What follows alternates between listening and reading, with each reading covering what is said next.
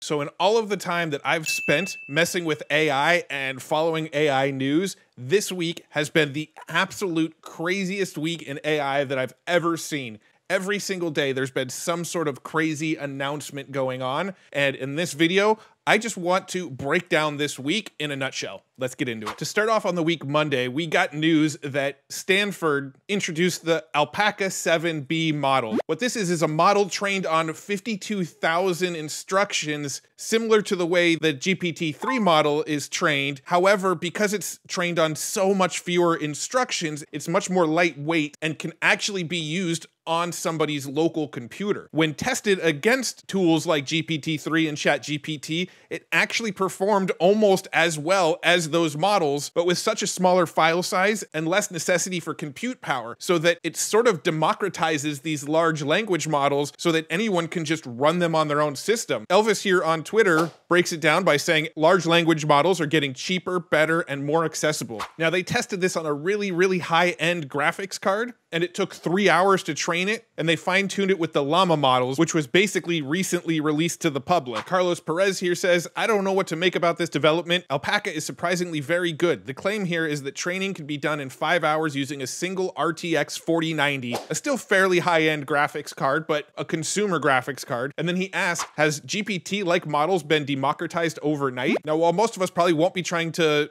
run our own large language chat models on our own computer with what's currently available, what we're seeing with Alpaca shows that we are really, really close to this. It won't be very long where, similar to Stable Diffusion, you'll be able to just install your own chatbot on your own computer, have it trained on your own data set, and have your own personalized GPT-3 or ChatGPT on your own computer without even needing to be connected to the internet. We are very close to that. And Monday was a big breakthrough and one step closer to that. Now, on Tuesday, Tuesday was a huge day. So much happened on Tuesday. Everything just kept on getting overshadowed by everything else. Now, to start off, Google announced that they were going to be releasing all sorts of AI functionality inside of their workspace tools. We're going to get GPT 3 like functionality inside of Google Docs and tools like Gmail really soon, where it will just auto complete your emails, auto complete your docs for you you, help you brainstorm ideas, write entire articles for you, write your resumes, write your cover letters. It sounds like it's going to be pretty much what we expect from tools like GPT-3 directly inside of Google Docs and Gmail. And then rolling out a little later after that, we're going to start to see it integrated inside of Google Sheets, inside of Google Slides, inside of Google Meet, and all of the various other suite of tools that Google has out there. We're going to start to see a lot of this AI roll into those tools. Is probably going to make a lot of these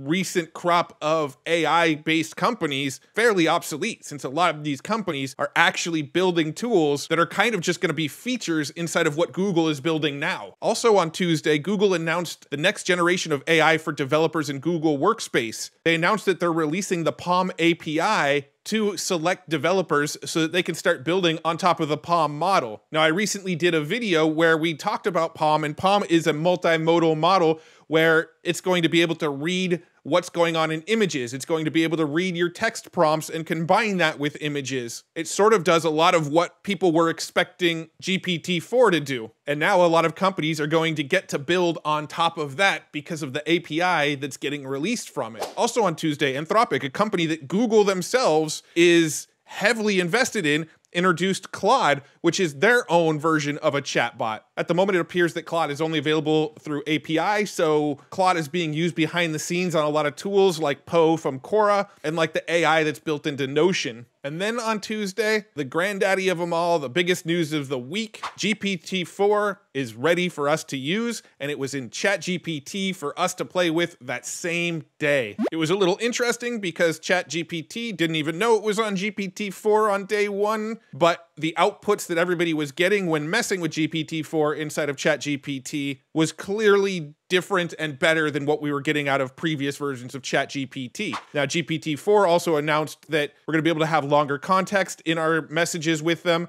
and that it's also going to use visual inputs and be a multimodal model as well, where it will be able to look at images and use that image for additional context and decipher what's in the image and do all sorts of interesting things with the combination of image and text inputs. This was a huge breakthrough on Tuesday and really set the AI world on fire by the outputs that people were getting out of GPT-4. So much better quality of A responses but the accuracy of the information that it was putting out. It was just so much better. And then on the same day, Microsoft then confirmed that for the last five weeks, if you've used Bing at all, you were using GPT-4. They said, we are happy to confirm that the new Bing is running on GPT-4, which we've customized for search. If you've used the new Bing preview at any time in the last five weeks, you've already experienced an early version of this powerful model. So it wasn't what we see today with GPT-4, but it was an early version of GPT-4. We have been using GPT-4 in Microsoft Bing, like I stated in the very first video that I made when I first talked about Microsoft's Bing chat. All right, so we're through Tuesday now.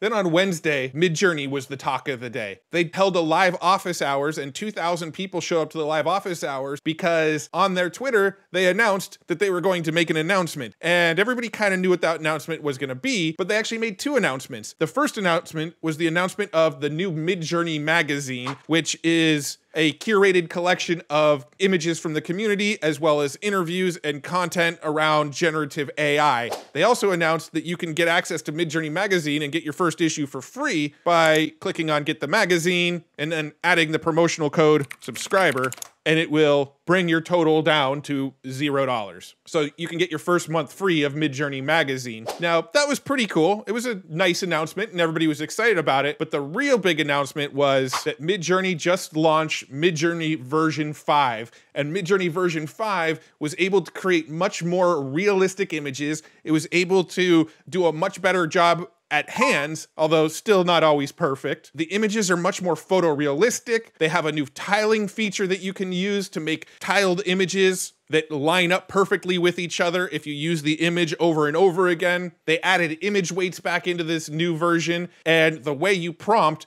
is completely changed. Now they want you to prompt in a way where you're using full sentences and talking to it like you would talk to a chatbot like ChatGPT. So it's got much better recognition for normal standard language. And they also revealed on this call, towards the end of the call, they didn't go too deep into it, but they did reveal that they're working on an API that if you want to get access to the Midjourney API to get in touch, which means we're going to start to see other products start to pop up most likely that use Midjourney for their art generation. It's also very interesting that the way that you prompt changed with Midjourney version 5 to more of a normal sentence structure where you would write like you would talk, but that also fares well for connecting it to things like GPT-4. GPT-4 is going to output more like sentences and less like what we were used to prompting in Midjourney. So this could mean that it will be a lot easier to allow some of these chat tools to generate prompts that Midjourney will easily understand. So that was the big news on Wednesday was Midjourney version 5 is huge and it generates some really really amazing images. And then we jump to Thursday and Thursday, Microsoft announced their 365 Copilot. Similar to what I mentioned about what Google was doing with their workspace, Microsoft is basically adding in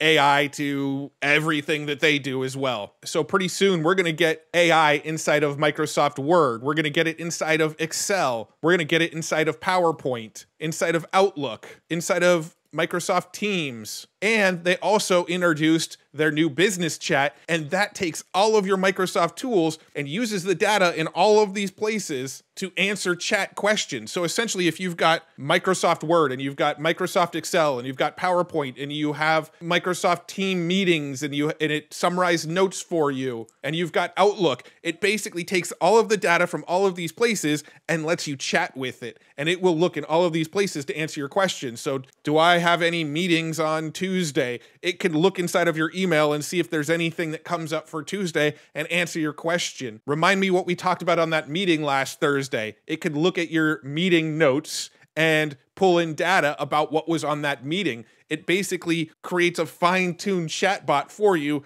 of all of the information that's inside of your Microsoft suite of tools. Also on Thursday, the Chat GPT rival made by Baidu called Ernie was released and it was off to not the best start. They gave a one hour presentation on it and well, everybody was pretty underwhelmed by it. They didn't show it off live. They pre recorded all the responses to carefully curate how it was going to respond. And because they didn't really want to show off what it can do live, and they sort of carefully curated how it was going to respond in pre recorded messages, the company's shares of the Baidu stock slumped by 10%. So shareholders were not impressed either, and it was kind of a miss. It doesn't look like they're going to be competing real tightly with Google or Microsoft anytime real soon. And that's just through Thursday. And I'm recording this video on Thursday. So if there's more big news on Friday, I didn't capture it in this video because of the timing of this video. But next week, it's not gonna slow down. Next week is crazy as well. Next week kicks off the GTC event, which is NVIDIA's conference all about AI. It runs from the 20th through the 23rd of next week, and Jensen Huang, the CEO of NVIDIA, is speaking on March 21st. As you can see, they describe it as the conference for the era of AI in the metaverse, and who knows what kind of big announcements are going to be made during this conference. You can go to nvidia.com slash GTC and it is free to watch it virtually online. There's going to be a lot of presentations about the latest research and how all of this technology is going to transform the world. And there's people speaking from companies like DeepMind, the co founder of OpenAI, researchers from Meta, the chief strategy officer from Adobe, and a ton more. So it's going to be exciting. I want to be trying to tune into this event every day. And if you know me by now, you know I will probably be trying to make videos about any cool breakthroughs that come out of this event. But next week is going to be crazy. And I'm not even done yet. Here's one little thing that I'm going to leave you with before this video ends. Emad, if you're not familiar with him, he is the founder of Stability.ai, the company that created Stable Diffusion. On the 15th, he said, lots of announcements the next few weeks will be fun. As an aside, even after the amazing Midjourney version 5 release today, I don't believe the releases, not from us, over the next week are even done. What a time, eh? He's basically hinting that there's some big announcements coming next week about Stable Diffusion, and there's definitely some things in Stable Diffusion that are in the works. We're expecting a Stable Diffusion 3.0 model to be announced sometime real soon. There's Stable Diffusion XL, which has been in talks. There's talks of an overhaul of the Stable Diffusion online user interface. So who knows what announcements he's going to make next week. Emad is someone to pay attention to on Twitter if you're not already because he's one of the guys that's at the forefront of the AI space. And he's telling us right now that these big announcements that are happening this week, they're going to continue into next week. If you want to stay on the pulse of AI, make sure you're subscribed to this channel. Make sure you like this video to make sure you see more of them in your newsfeed. And if you haven't already, head over to futuretools.io, click the button to join the free newsletter. And every Friday, I'll send you the TLDR of the week in AI. I'll tell you about my five favorite tools, all the most interesting news articles that have happened in the week. I'll share some YouTube videos with you, and I'll tell you one cool way to make money with AI. And I send that every Friday. And all you got to do is go to futuretools.io and click the button to get on the list. Whew, what a week. What a week. This has been the most intense week in AI that I have seen yet. And man, it's been fun and exciting. And I can't wait to see what next week and what the next months hold because this stuff is just picking up speed fast. And I'm here for it. Thanks so much for tuning in. I'll see you guys in the next video. Bye bye.